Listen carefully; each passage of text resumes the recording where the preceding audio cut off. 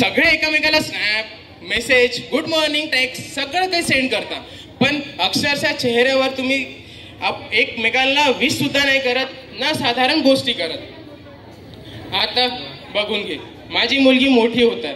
हळूहळू पण तिला आपल्या अभ्यासाशिवाय तिची नुसतं सोशल मीडिया रील्स लाईफ त्यामध्येच आहे. लहानपणी ती माझ्यासोबत सगळ्या गप्प्या गोष्टी सांगत होती. सगळं काही माझ्यासोबत शेअर करत होती. पण आताच्या काळात तिला माझ्यासाठी वेळ नाही आहे राहिला माझा मुलगा बघितलं तुम्ही सगळ्यांनी.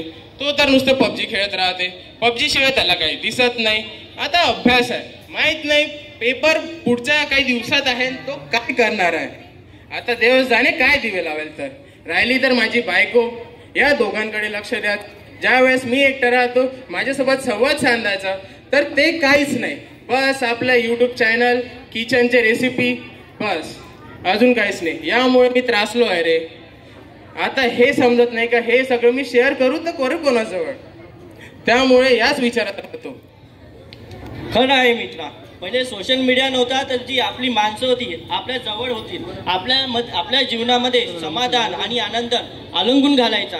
आणि आता सोशल मीडियाला तेव्हापासून सगळी जी माणसं आहे आपल्यापासून दूर होत चालली. अवघड झालं आहे सगळं. चल आपण चाय येऊ. जाऊ दे. टेन्शन नको घेऊ. Tigrada, tigrada, tigrada.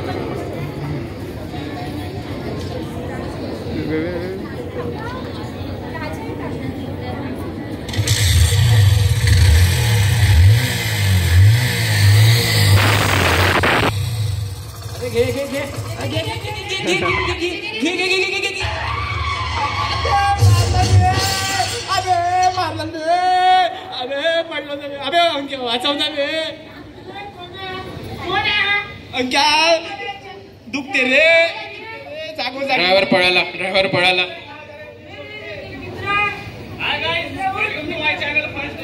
अरे त्याला मोबाईल हिर रे त्याचा कोणा तरी अरे वाचा वादी. अरे जागो जागी लागला. कहा देखा कहा देखा कहा. जागो जागी दुखते. बहुत दिनों के बाद मैं मेरे दोस्त के साथ घूमने के लिए निकला और उसने क्या कर दिया? मेरा दोस्त फटीचर गणपत राव आपके। भाग गया देखो इसको लगा। कहा खून निकल रहा है। रे रे रे रे रे। अरे कहाँ जा रहे हो आप कहाँ जा रहे हो? अरे कौन बेड़ा? अरे उसको लेके जा पहले जा जा। अरे अरे उनक्या नेरे हॉस्पिटल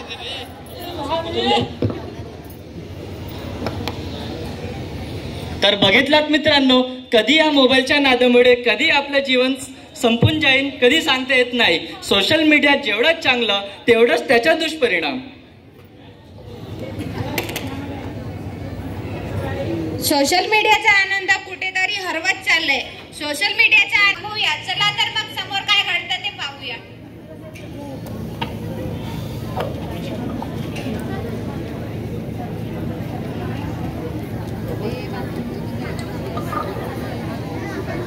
बघितलं? काय झालं मोबाईलमुळे? म्हटलं होतं ना तुला? मोबाईल नको वापरू नको वापरू. ऐकलं नाही माझं? चुकी झाली बाबा. चुकी? घे आता शिकून. अशा चुक्या करायला लागते का? काय तुम्ही रागवताय? इकडे लागलाय माझ्या मुलाला. दिसत नाही का तुम्हाला?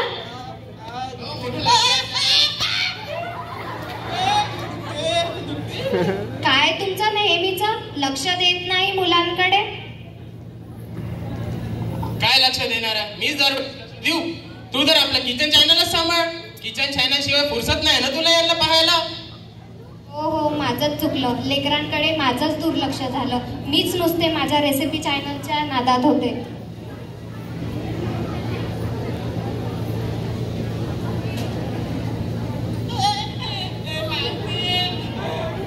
Yeah पाहिजे होती. नाही नाही नाही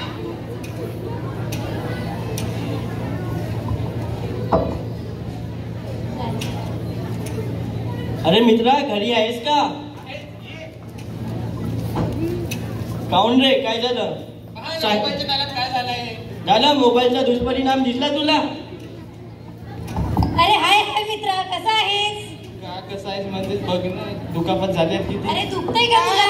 लागलं दुखतंय. हा. त्रास होतोय तुला? हा त्रास होतो चुकलंच माझं. मोबाईलच्या नादात दुखापत करून बसलोय. तुझ्या स्वतःच्या चुकीमुळे दुखापत करून बसलायस. आता तू पण परीक्षा देऊ शकणार नाही. तुझे एक वर्ष असंच वाया जाणार. आता बघितले ना तू? काय दुष्परिणाम घडतोय? बघितलंय. आणि तुम्हाला सांगताय मित्रांनो या सोशल मीडियाच्या नांदामुळे कितीतरी लोक आपले मानसिक संतुलन हरून बसतात. कितीतरी मानसिक रोगाच्या आधी जावं लागतं. इतकंच नाही तर आपलं दृष्टी सुद्धा कमजोर होत असतात तर तुम्हाला वाटतंय जे याच्यासोबत झालंय ते कोणाशी हो, तुमच्याशी पण सोबत होऊ नये. त्यासाठी आपल्याला सोशल मीडियाचा वापर कमी करावा लागेल. तर काय मित्रा कसं वाटतंय? कसं वाटतंय? खूप मोठी चूक केली हो, असं वाटतंय. स्वतःच्याच पायावर दगड मारलं की काय? असंच वाटतंय. या मोबाईलच्या नादात स्वतःच कुठेतरी एक जग आहे. हेही विसरलोच. एक स्वतःचं अस्तित्व गमावून बसलोय मी. अरे एवढंच काय? मी माझ्या स्वतःच्या आईशी कधी संवाद साधला होता शेवटचा तेही मला आठवत नाही. तिच्याशी मनमोकळेपणानं कधी बोललो होतो तेही मला आठवत नाही. आणि तेच नाही तर माझ्या बाबांसोबत बसून कधी गप्पा मारल्या होतात ना तेही मला माहीत नाही. आणि माझ्या स्वतःच्या ताईला जाऊन कधीच विचारलं नाही की ताई काही प्रॉब्लेम आहे का? काय घडतंय तुझ्या जीवनामध्ये? कधीच नाही. खरं तर नाही व्हायलाच नको आहे. त्या मोबाईलमुळे नुसतं मी अभ्यासही दुरावलो अभ्यासाच्या नावाखाली सतत मोबाईल बघत होतो. नाही हे कुठेतरी थांबायला पाहिजे. हे कुठेतरी थांबायला पाहिजे. अरे पूर्वीच्या काळात मैदानी खेळ खेळले जायचे. खो खो कबड्डी सारखे मैदानी खेळ. पण आताच्या पिढीला खो खो आणि कबड्डी हेही माहीत नाही. आणि यात यात फक्त त्या मुलांची चुकी नाही बरं. यात चुकी आहे ती त्यांच्या आईवडिलांची देखील. कारण मुलाच्या जराशा रडण्यावरून त्याच्या हातामध्ये मोबाईल दिला जाते. आणि त्यांना कळत नाही की त्याच क्षणापासून ते सोशल मीडियाच्या नादाला लागतात.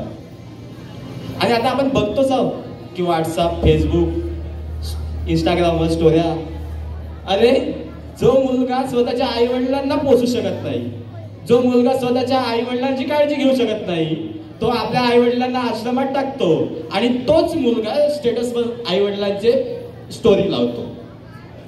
अरे ज्याच्याकडे जराही वेळ नाही आई वडिलांसाठी ज्याच्याकडे जराही वेळ नाही आई वडिलांसाठी तोच स्टोरी अपलोड करतोय सर्व काही करतो. बाबा तुमच्या प्रेमासाठी फक्त तुमच्या प्रेमासाठी. अरे वेड्या करू नको इतके पाप. माफ करणार नाही देव पण.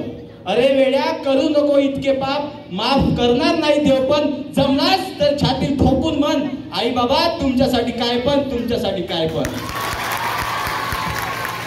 आता आपण ट्रेंडिंगवर बघतोच आहोत की सोशल मीडिया फेसबुकवर माझे इतके फॉलोअर्स आहेत इतके फ्रेंड्स आहेत. पण ना जेव्हा खरंच गरज पडते ना तेव्हा ते कामात येत नाही. तर आपले शेजारी आपले मित्र कामात येतात. आता तुम्ही बघितलंच असाल की माझ्या हाताला दुखापत झाली तर फक्त माझा मित्र माझ्यासोबत होता. बाकी ब्लॉग तर चालूच होता लोकांचा. आणि जर लहान मुलांना आता व्हिडिओ गेम देण्यापेक्षा ना छत्रपती शिवाजी महाराजांनी महाराजांचा इतिहास सांगायला पाहिजे. पिकनिकला इतर ठिकाणी फिरायला नेण्यापेक्षा छत्रपती शिवाजी महाराजांनी बांधलेल्या गडकिल्ल्यांवर न्यायला पाहिजे. अरे ज्या माणसाचं नाव ओठांवर येतात अंगावरचे काटे जागे होतात तर विचार करा त्याच माणसाची विचार जर डोक्यात घुसतील ना तर बदलायला वेळ लागणार नाही आणि हा जग बदलायला वेळ लागणार नाही. आणि पुढचे येणारे शिवाजी हे तुमच्या आमच्यातलेच असणार. आणि आम्ही असं करून म्हणतोय की सोशल मीडियाचा वापर करूच नका करा. पण प्रमाणात. अरे ते म्हणतात ना देणाऱ्याने देत जावे घेणाऱ्याने घेत जावे आणि घेता घेता देणाऱ्याचे एक दिवस हातही घ्यावे. एखादी गोष्ट मिळते म्हणून ती मुळात सकटच घ्यायची. असं नाहीच मुळात. ती किती प्रमाणात घ्यायची? कशी घ्यायची? आणि गोष्टी मिळतात हो गोष्टी मिळतात. पण ती कधी आणि कुठे योग्य तो वेळ योग्य तो निर्णय खूप महत्त्वाचा असतो. आणि मला असं वाटतं की ही जी दुखापत चालली आहे माझ्यासोबत ते तुमच्यासोबत व्हावी नाही. म्हणून सोशल मीडियाचा वापर कमी करा योग्य ते करा.